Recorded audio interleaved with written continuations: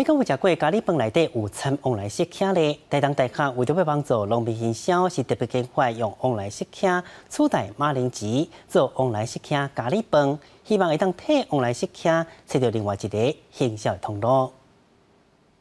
台东大学文化资源甲休闲产业系师生，伫灶卡内底写往来色叶皮，切做一块一块，搁放入鼎内底，加烧滚水、红菜头，慢慢煮，差不多半点钟了后，搁放咖喱，煮做一鼎咖喱酱，配合卤鸡腿、甲猪肉、甲其他烧煮的菜色，就是往来色叶咖喱套餐。试食人讲，抑过食到往来色叶子，口味酸甜，真开鼻。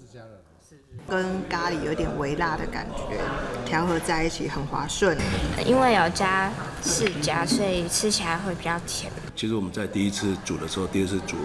包含释迦放上去后，它会散出散发出一种特殊的水果香味，那是马铃薯没有办法取代的。这新研发的美食是经过苏生去往来食客农户了解口感甲利用，想出来往来设计做菜的方法，希望帮助大东湾往来设计找到新的营销通路。更多人来亲近、来了解我们台东的世家，然后呢，来触发更多